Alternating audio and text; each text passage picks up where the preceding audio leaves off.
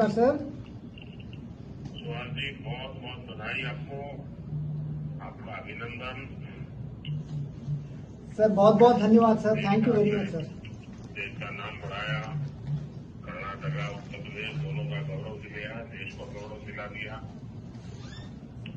धन्यवाद sir thank you so much sir आपकी batch का कौन है? गुजरात का अ, सर गुजरात में रेमिया मोहन है सर। और यस सर तो उनकी बैच है। और अ, हमारी बैच के लोग और पूरे सर्विस के लोग और उत्तर प्रदेश कर्नाटक दोनों के लोग सर बहुत ज़्यादा विशेष दिए थे सर और आप सर बताए थे जब हम लोगों को सर संबोधन किए थे आपने सर बताया था कि सामने कौन है ये मत देखिएगा। आप अपना बेस्ट दीजिएगा। तो सर, उसी का ये, सर, वही उसको मन में भी रखे थे, प्लस सर माइंड बहुत प्रिपेयर करके आए थे, सर, और जब बचपन में, सर, सोचते नहीं थे कि कभी जब हम एक छोटा सा शहर है, सर, शिवमोगा, वहाँ का मैं बिलोंग करता हूँ, वहाँ जब हम छोटे थे तो कभी सोचते नहीं थे, कभी ज़िंदगी में आईएएस बनेंगे या कलेक्टर बनेंगे, या सर, यहाँ पे पैरालंपिक में मेडल मिलेगा।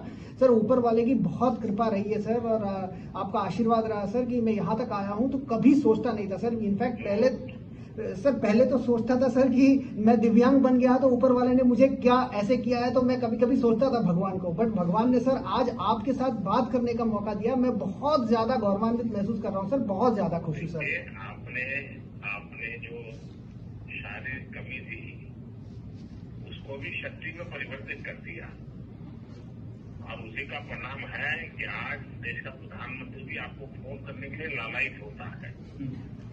और इसलिए ये आपका अपना पराक्रम है आपका कॉन्फिडेंस है और दूसरा दुनिया का नियम है जो बहुत सोच करके प्लानिंग करके मैं ये बनूँगा मैं वो करूँगा इसी दिमाग को लेके जाते हैं उनमें से अधिकतर लोग रह जाते हैं। सर। लेकिन जो बिल्कुल करते रहते हैं करते रहते हैं वो कहीं पहुँच जाते हैं।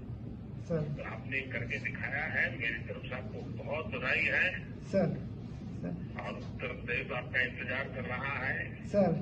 और और आपने सर एक बात कही थी जब हम लोग सर जकार्ता में मुझे ब्रॉन्ज मिली थी सर एशियन पैरा गेम्स में हम लोगों को आपने बुलाया था तो सर आपने एक बात कही थी हमें जब संबोधन किए थे।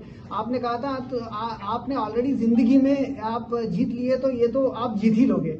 वो सर हमेशा मुझे याद रहती है कि जब आपने इतनी इंस्पायरिंग वर्ड्स कही थी सर तो आज मुझे विश्वास नहीं हो रहा है सर कि मैं भारत के माननीय प्रधानमंत्री जी से बात कर रहा हूँ। मुझे बहुत ही गर्व महसूस हो रहा है सर कि बहुत ही अच्छा लग रहा है सर। देखिए आप तो आप तो मेरे कलीग है।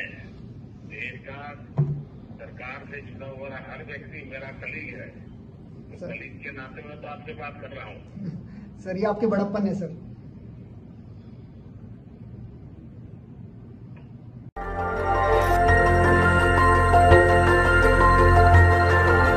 देखते रहिए डीबी भारती समाचार नज़र हर खबर पर।